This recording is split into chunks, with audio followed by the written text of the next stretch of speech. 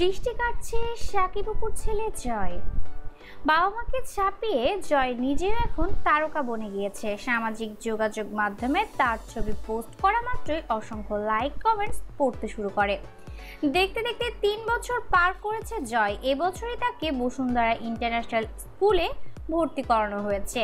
এখন প্লে গ্রুপে পড়ছে জয়। মায়ের সঙ্গে নিয়মিত স্কুলে যায়। স্কুলের সহপাঠীদের সঙ্গে মেতে ওঠে খেলাধুলায় পড়াশোনায়ও বেশ মনোযোগী জয়।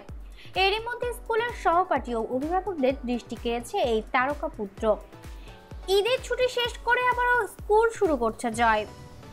আজ দুপুরে ছেলের তিনটি ছবি পোস্ট করেছেন অপু। ক্যাপশনে লিখেছেন, ঈদের ছুটি শেষ করে আবারও স্কুল জীবন শুরু করছে জয়। এ প্রসঙ্গে অপু বলে স্কুল যেতে জয় আনন্দ পায়। সহপাঠীদের মধ্যেও জয়কে নিয়ে আগ্রহ রয়েছে। জয় শিশুদের সঙ্গে মিশতে পছন্দ করে। বাসায় মাঝে মাঝে জয় খাতা কলম নিয়ে আমার রুমে চলে আসে। সে এখন ল্যাপটপ পেলে খেলতে বসে যায়। বিষয়গুলো আমার বেশ ভালো লাগে। এখন প্লে গ্রুপে পড়ছে জয়। মায়ের সঙ্গে নিয়মিত স্কুলে যায়। তো বন্ধুরা, কেমন লাগছে?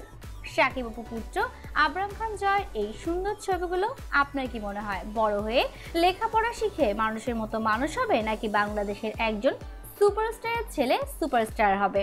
বন্ধুরা, আপনার মূল্যবান মতামতটি কমেন্টের মাধ্যমে আমাদের সাথে শেয়ার করুন এবং আরও সব লেটেস্ট আপডেট নিউজ জানতে চাইলে আমাদের চ্যানেলটিকে এখনই সাবস্ক্রাইব করুন।